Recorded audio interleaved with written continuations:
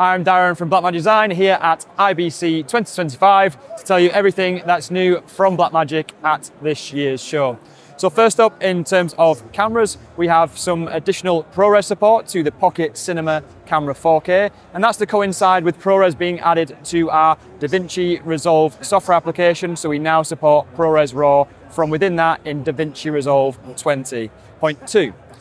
Um, also, we've released the Blackmagic Camera Pro Dock. Now, this is for use with the iPhone, the new iPhone 17 Pro Max and the iPhone 17 Pro. And this allows you to use the iPhone 17 with uh, professional accessories, including Genlock and timecode input as well. Also at the show, we're also talking about products that were announced earlier in the year, but are now shipping. So for example, in terms of live production, the ATEM 4ME Constellation 4K Plus is now shipping. So we announced that earlier in the year. The ATEM 4ME Constellation 4K Plus is an 80 input and 48 output production switcher for use with the highest density and uh, highest demanding uh, live production applications. For example, sports and esports, which have a large number of sources.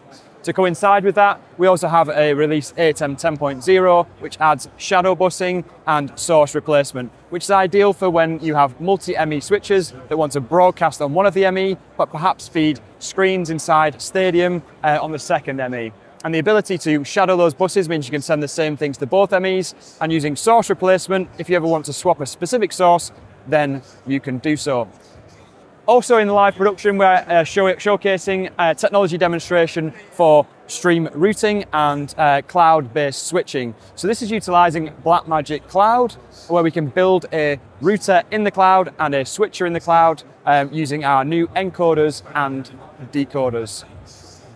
Also, um, DaVinci Resolve 20.2 has been released with the additional support for ProRes RAW, as well as a number of new AI features which will aid post-production creators and content creators uh, in their workflows.